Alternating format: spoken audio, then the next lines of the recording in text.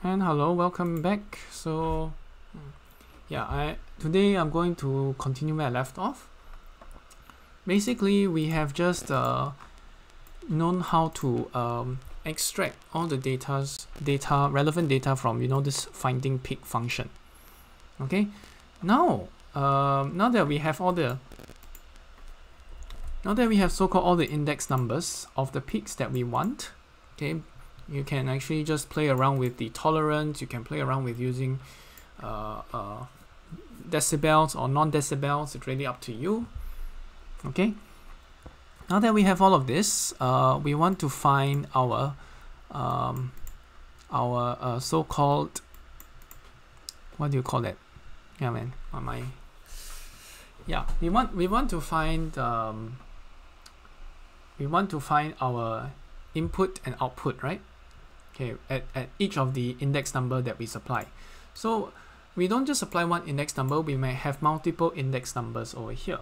For example, 21 and 19980 because there are two mirror, there are two parts uh, of the, they are basically the same peak, but one is the mirror of the other in the Fourier um, transform spectrum thing. Yeah.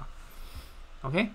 Uh, so we want to search index number 21 and index number 19980 and I want to return all my uh, input peaks, output peaks, and of course the frequencies at each of these peaks.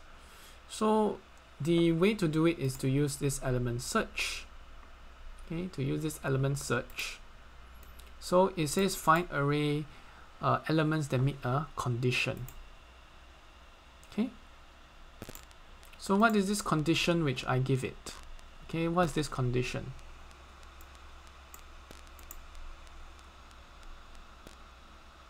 Oh wow. Well, uh,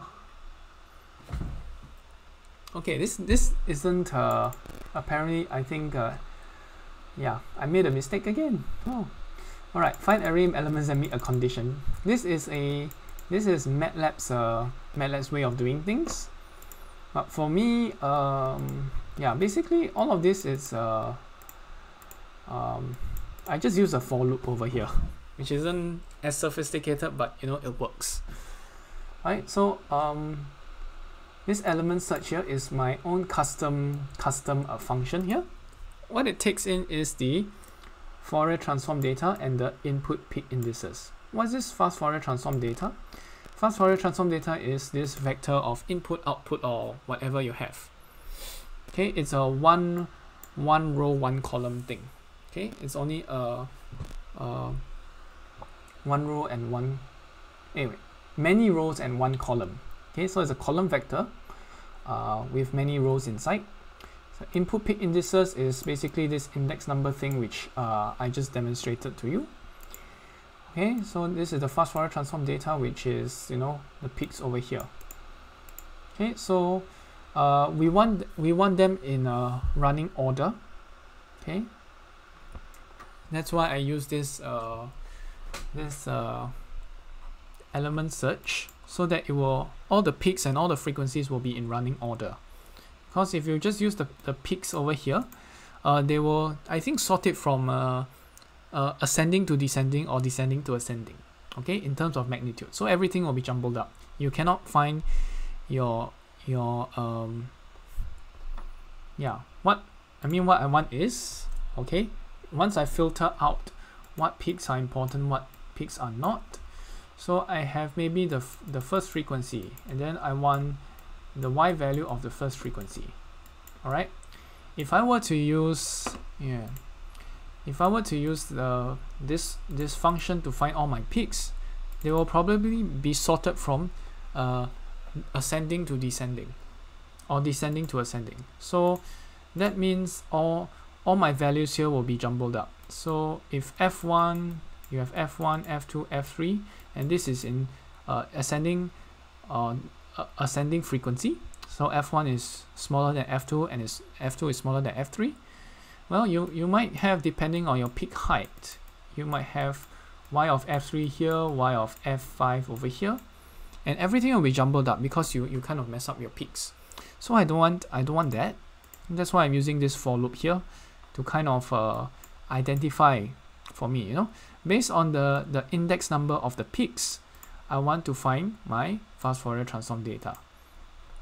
So this is basically just a for loop, okay?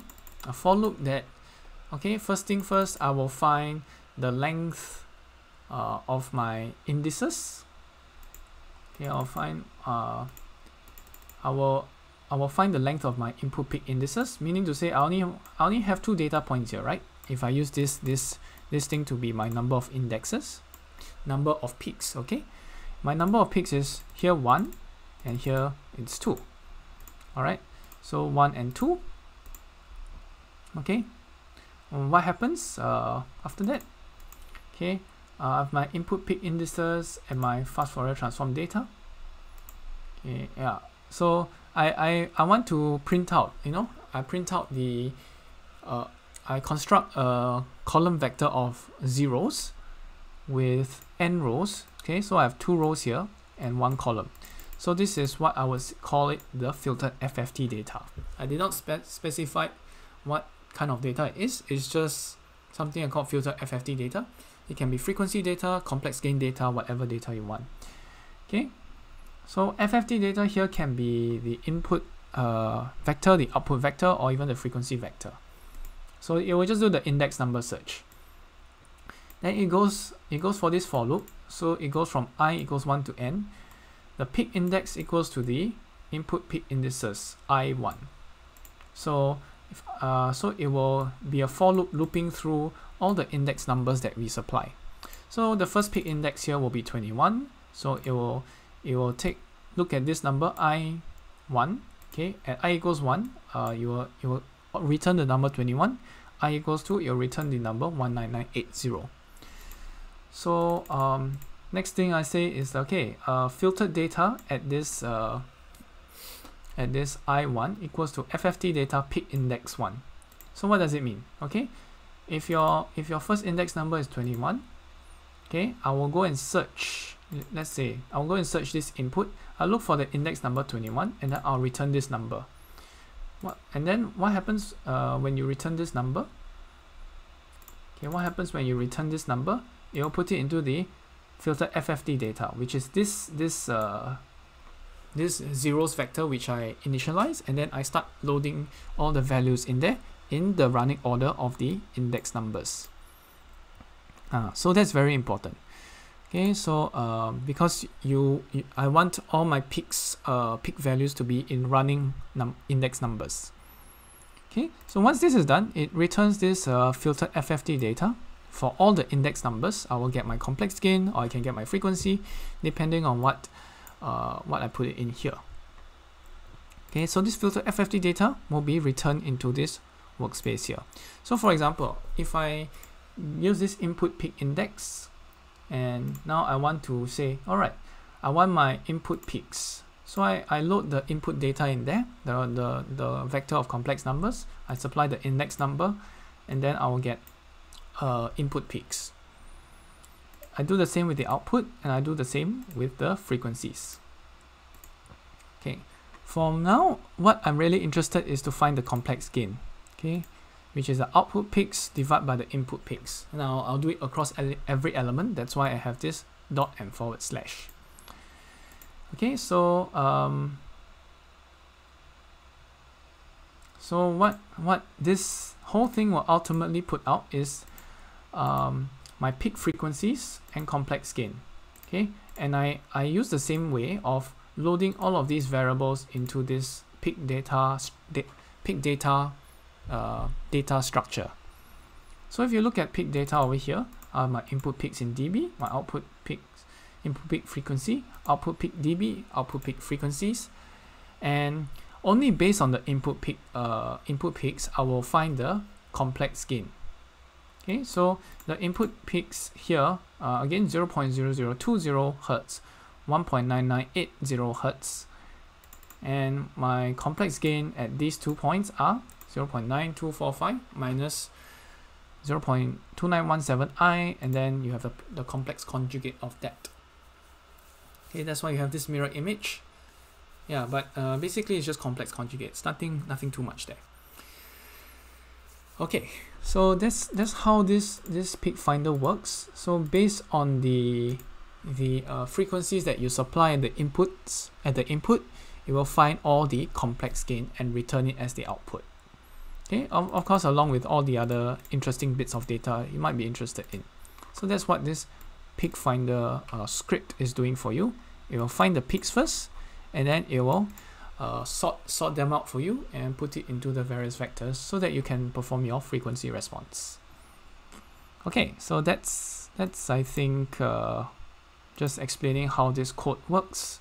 There's this, uh, I use the find peaks uh, thing, and then also uh, I have my own custom function here, okay, called element search. Okay, so I put the other function towards the end only later versions of MATLAB have this, I think from 2018, 2019 onwards. I can't remember which version it can start doing that. Uh, but 2021 definitely has this, in 2020 as well. Okay, so so that's this is how this whole thing works. All right.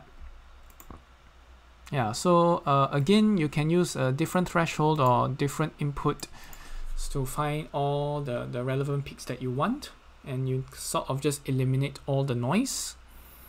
Okay? Uh, so that's that's that. All right so thanks again for watching. I will see you guys next time. Uh, so probably uh, yeah this this is basically uh, for each uh, frequency response test you are able to do some sort of uh, Fourier transforms uh, get all the peaks out and then get all the complex gains out this is the script that does that for you. Okay, thanks for watching. See you again. Bye-bye.